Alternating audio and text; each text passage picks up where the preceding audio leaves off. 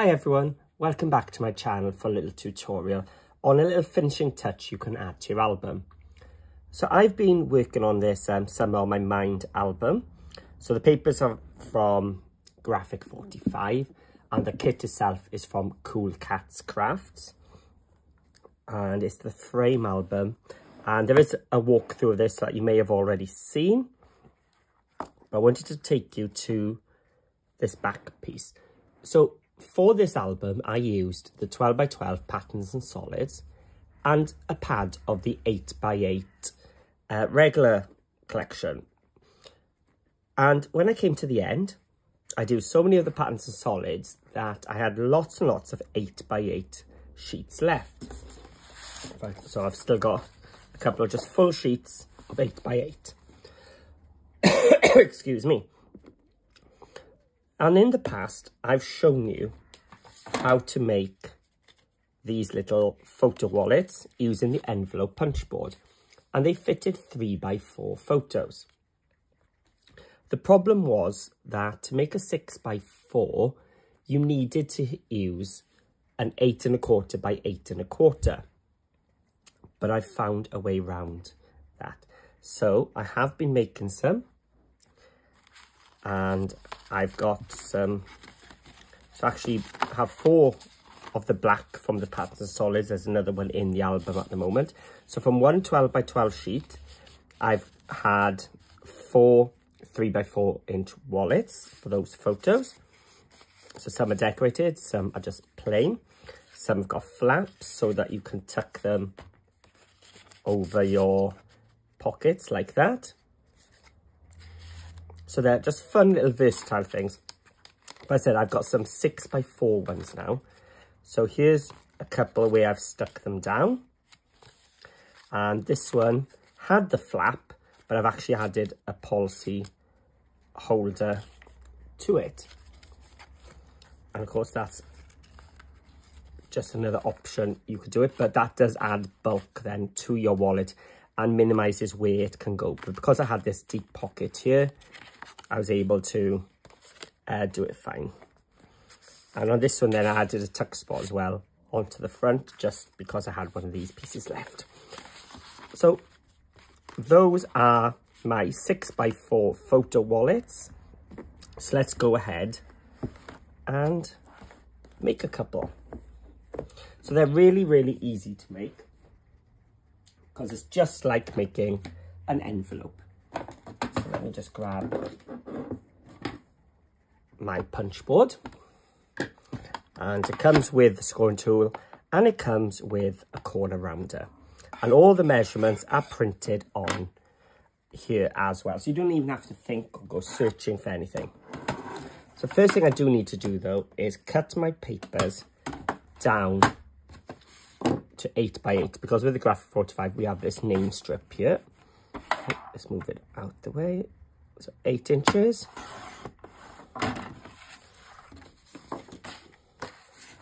And eight inches.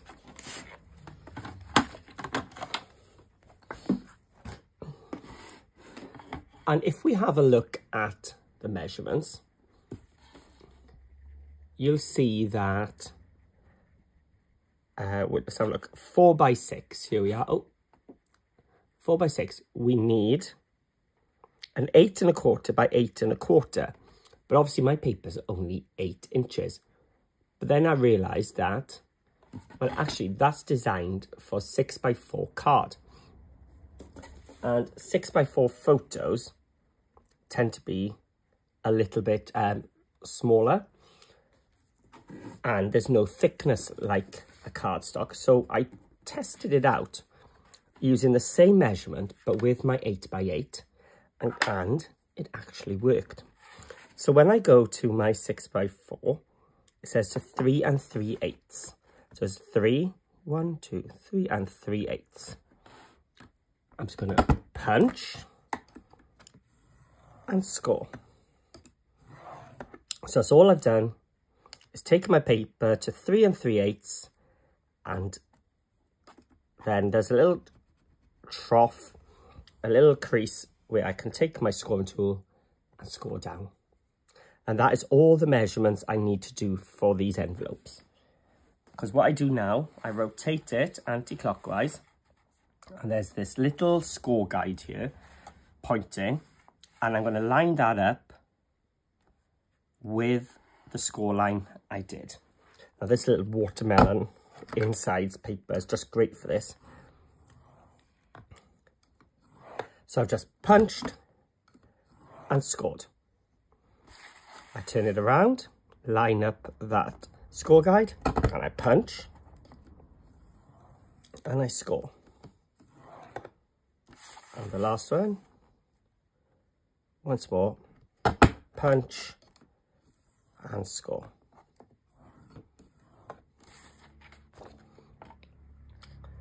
And what you've got to realise is that it'll end up as being a diagonal. The interesting one was um, this one, because on the paper, all of these went diagonal, but then once I made the wallet, they were all in nice straight lines. So that's what's good about this um, watermelon seed one, is it's a non-directional, the seeds are just everywhere. Right. So now what we're going to do, oh, those are the four pieces of waste. You need to decide if you're going to have it a portrait or landscape. So I like the uh, portrait. So I'm going to corner round at the top and bottom. So for that, I'm just going to place it in my tool again. And it's just rounded off those corners. You can do all four, but there's no need. Now I'm just going to just gently burnish. You can see I'm not scoring really hard. I'm not pressing down. I'm just gently going across. And whilst these two larger pieces are here, I'm going to just mark this top one where they meet. Take my scissors. You could use your trimmer, but I'm just going to cut between those two pencil lines. And an optional extra, but I think it worked really well for highlighting um, the shape of your wallet is to ink the edges. So I'm just using my black soot distress ink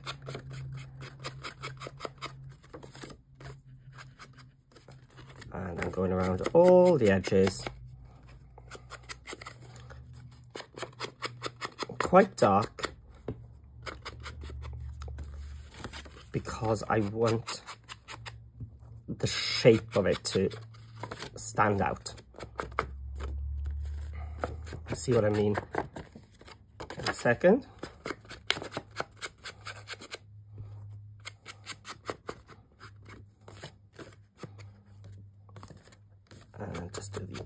This. One more to do.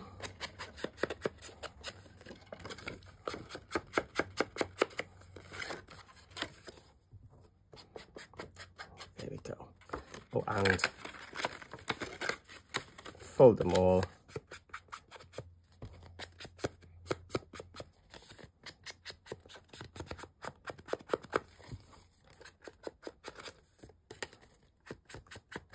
Go. So that is everything prepped. And don't worry about the inside of this, you're not actually going to see it. This is the top of mine. So what I'm going to do is I'm going to take my glue and I'm going to glue this flap down. Get nice and flat.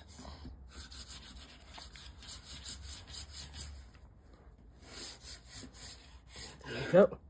And then the piece I haven't cut, I'm going to bring in. And then it's going to come over.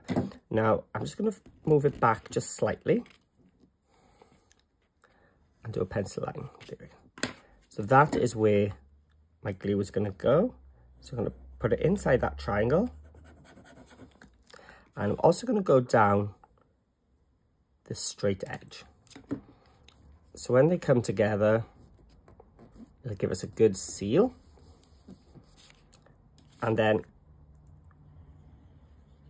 just around this triangle tip, not too close to here, otherwise you can get glue gluing it all shut. So we've got glue on the tip, glue on the edge of that, so it's going to give us a good seal.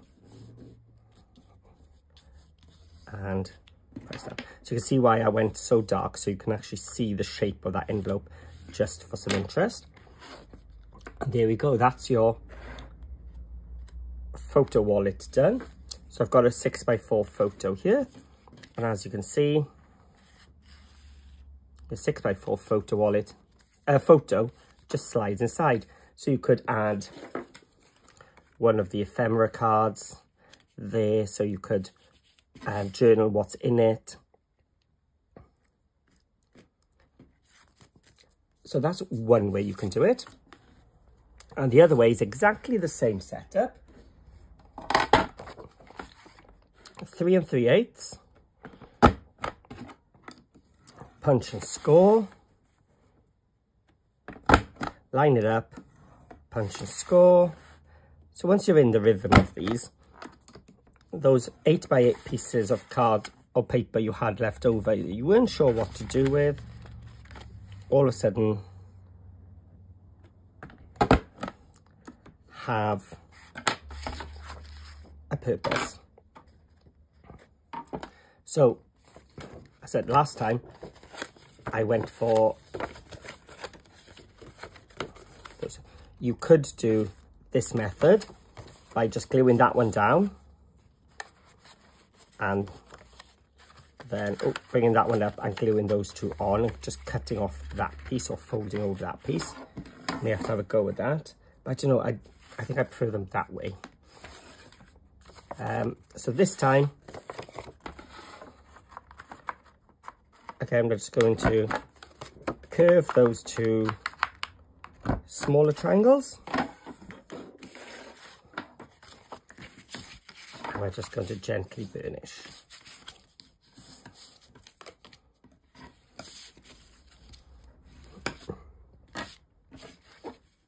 Let's take that ink again.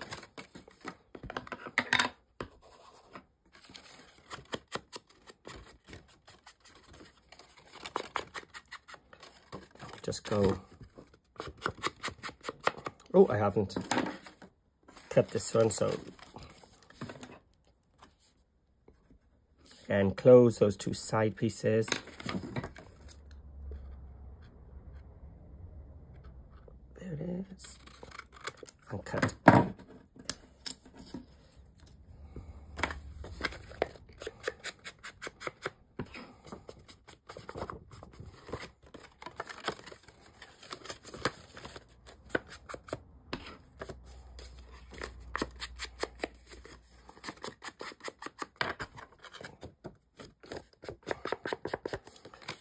So you can see how the paper was this way and you had your watermelons, but now it's sort of straightened them up.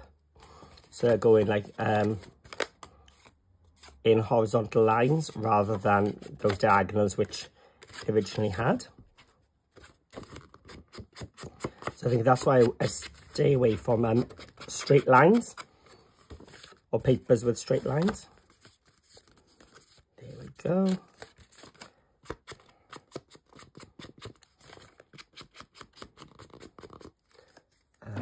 Set that aside. So this time, because the inside is a non-directional, it works a little bit better. I'm just going to slide this back a little bit. And put some glue inside that triangle and down this straight edge. And the looser you stick this, the more uh, photos you can stick in. So if you're going to press it right down, you're only going to fit one or two photos in. If you just let it sort of rest, it sort of bows and you get more space. So now over that V and around that V. And again, just gently fold it. So this time I'm actually leaving that flap open. And what that does, when you put it into your album, you can use it to tuck it into places. Or if we go in here, no, that's too short. Ah, here we are. So if I was going to put it there, it's a sort of flap so you can see you've got a place to pull it off.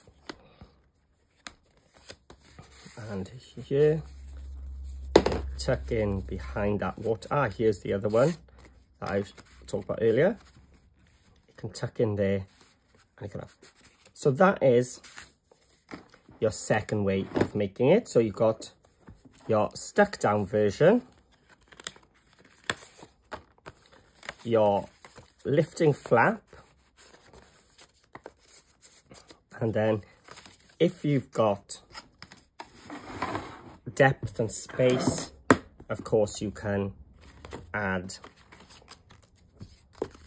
a policy closure too so I do have a photo card do I want to add it so the three by four photos uh, journal cards fit onto the front the new five by, uh, six by four would also fit because that's the size of photo we're putting in. So they're nice and easy to decorate if you've got the journal cards. And again, it just remains nice and flat. And of course I could put it the image side up or I could put it that way up. Actually, do you know what? I think let's do it. Let's let's put it so that we can journal on it.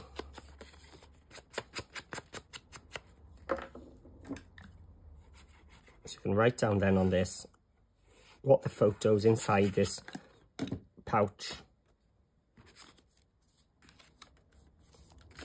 Be there we go. And there we go that's our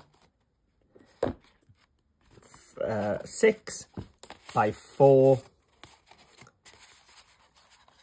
photo pouches made. I say these are great for tucking into your pockets or just on their own. And a great way of using up your 8 by 8 papers as well. So thank you for watching. And hopefully now you've got definite ideas on if you've got your 12 by 12, you can make four of these. If you've got an 8 by 8 piece, you can make a 6 by 4 They're just great ways of using up those last few pages that you got at the end, but also making them usable. So thank you for watching. If you do have a go, I'd love to see them. Um, just share it with me in my Facebook group called Paper Crafting with Paul. There'll be a link in the description below. Or these way, just type Paper Crafting with Paul into your Facebook search and you just answer a question and I'll let you in. Um, and please also leave some comments below.